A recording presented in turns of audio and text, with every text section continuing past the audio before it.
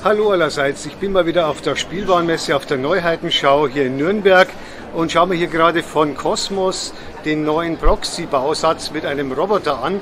Und ich bin hier bei Silke Ruoff von äh, Cosmos. Die haben sich diesen Roboter einfallen lassen und dieser Roboter ist als Spiel-, Programmier-, Lernroboter gedacht oder wie ist der vorgesehen?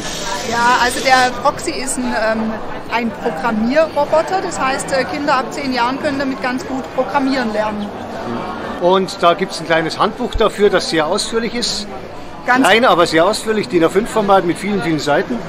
Ja, ganz genau. Das ist uns ja immer wichtig, dass äh, wir wirklich auch eine, eine sehr gute, didaktisch gut aufbereitete ähm, Anleitung mitliefern mit unseren Experimentierkästen. Und beim äh, Proxy ist das Besondere noch, dass äh, erstmal eine kleine Abenteuergeschichte noch einführt ähm, in diese Geschichte, die die Kinder dann mit ihrem ro programmierbaren Roboterfreund erleben können. Also der Proxy äh, taucht hier in dieser schön gezeichneten und bunt illustrierten Geschichte auf. Das heißt, die Kinder erleben hier gemeinsam ein Abenteuer, in, in der der Proxy dann auch eine Rolle spielt. Und so werden sie ganz spielerisch dann herangeführt an das Thema ähm, Zusammenbauen, Konstruieren, ähm, Experimentieren und auch Programmieren. Und dann muss ich den komplett zusammenbauen. Das sind hier über 100 Einzelteile. Ganz genau. Also das dauert eine Weile. Es äh, bietet sich auch an, dass die Eltern da ein Stück weit mithelfen, ähm, weil es durchaus auch eine, eine anspruchsvolle Konstruktionsaufgabe ist. Es ist aber auf jeden Fall so ähm, vorbereitet und gedacht, dass Kinder ab 10 Jahren ganz gut damit zurechtkommen. Positioniert ist er vom Alter 10 bis 16 Ganz und damit genau. eigentlich dann auch große Kinder, Erwachsene werden damit sicher auch spielen, weil man Fall. ja dann Programmierungen, Abfolgen programmieren wird und verschiedenes mehr. Und die Ja. Programmierung selber können wir uns nochmal anschauen. Da gibt es ein Herzstück im Genau. Kopf versteckt.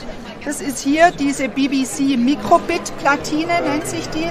Wurde entwickelt in England von der BBC, vor allem auch ähm, mit dem Ziel, dass äh, Kinder Kinder leicht programmieren können. Und die hat dann eine USB-Schnittstelle und wird dann vom PC aus programmiert. Genau, das sieht man hier. Wenn man dann nochmal von oben drauf schaut, ist die ähm, Schnittstelle, sodass man dann die Daten da auch ähm. Und dann ist hier noch ein Display, ein kleines vorhanden mit einigen Bits mit 5x5, so wie ich das sehe, als Matrix, die man einerseits programmieren kann, die andererseits auch Gesichter zeigen kann, verschiedene äh, Symbole einblenden kann. Und ansonsten programmiere ich den dann äh, am PC per Kabel und steuern kann ich ihn per App. Und äh, an, vom Prinzip her Äh, man kann ihn laufen lassen, man kann ihn sich drehen lassen, er kann tanzen, singen. Ähm, und er kann sogar Schere, Stein, Papier äh, spielen mit einem. Wie macht er das dann? Er erkennt dann selber, was man ähm, äh, als Bewegung macht. Ähm, er erkennt es nicht, aber ähm, der Mitspieler kann dann durchaus äh, gegen ihn spielen, weil er dreht sich dann um sich selbst, während er überlegt, äh, welches, ähm, welches Symbol er dann spielen wird, also Schere, Stein oder Papier. Und ähm, während dieser Wartezeit kann das, äh, das Kind und der Mitspieler natürlich auch überlegen, sodass man dann wirklich auch gemeinsam spielen kann. Die Fernbedienung dann und Fernsteuerung läuft per App mit einem Smartphone Mit dem Smartphone, genau. oder mit einem Tablet und läuft dann per WLAN oder per Bluetooth. Ähm, das müsste per WLAN sein, das weiß ich aber nicht ganz Die ist genau. Markteinführung ist im Juli etwa Genau, im Sommer. und der Preis wird ungefähr sein. UVP liegt bei 119 Euro, 119,99. Und zusätzlich zum Display gibt es auch verschiedene Sensoren in diesem Proxy, die er dann zur Erkennung von Hindernissen und verschiedenes mehr machen kann. Genau, also der ähm, Proxy erkennt zum Beispiel meine Hand und kann meiner Hand folgen. Ähm, er hat einen äh, UV-Infrarot-Sensor und äh, was auch wirklich toll ist, ist, er, er kann auch Temperatur anzeigen. Das heißt, man kann ihn auch als Thermometer ins Kinderzimmer mitnehmen und einfach mal schauen, wie warm oder wie kalt ist es denn im Winter. Die Temperatur zeigt er dann auch direkt über sein Display im Gesicht an. Halt vereinfacht läuft dann wahrscheinlich als Laufschrift. Genau.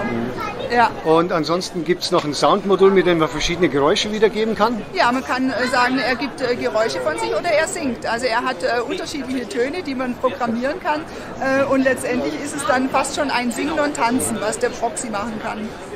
ja, dann gibt es ja viele, viele Möglichkeiten, die man dann spielerisch die nächsten Jahre, während man den Roboter hat, ergründen kann. Zur Stromversorgung hat er ein Batteriekästchen, in das ähm, insgesamt vier 3A-Batterien reinkommen, habe ich mir vorhin schon angeschaut. Und ansonsten Programmierschnittstelle, schauen wir uns hier nochmal an, ist dann die Standard-Micro-USB-Schnittstelle.